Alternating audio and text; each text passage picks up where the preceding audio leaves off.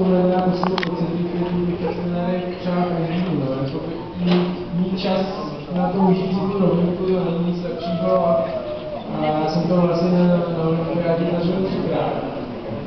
Takže to vůbec je něco speciálního a opravdu jsem si to užíval, protože třeba to předávání medailí určitě taky jako krásný, ale ty emoce tam nejsou zdaleka takový jako té logice. Takže těsně před cílem je to prostě. No těch 100 metrů před cílem, někdy to je třeba 80 let, záleží jaká je ta díla domů, ale já jsem tam měl opravdu docela, docela dost času, takže jsem měl poměrně dlouhou dobu na to, abych, abych zkoušel. A liší se ta rovinka od rovinky jako závod od závodu, to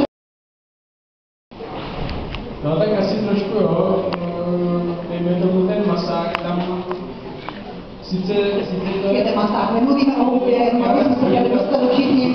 teda hromadným startu, nebo Ano, závod Tomu se říká masa. tomu se říká masák. Závod hromadných startů. Je masák. Udává smysl. Tak pokračujte v masáku. No,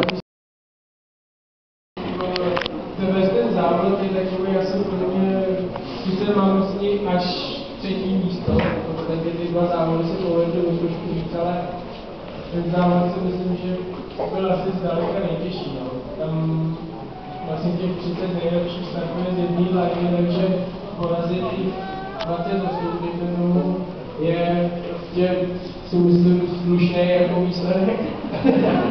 A takže i jakoby toho se cení o maličko víc, no, než těch medailí, až prostě je to ten bronz. My jsme už eh, od včerejška vlastně avizovali vysílání radiožurnálu a dalších stanic Českého rozhlasu, že sem přijede. Opravdu ta silná biatlonová sestava, ale jak potom se to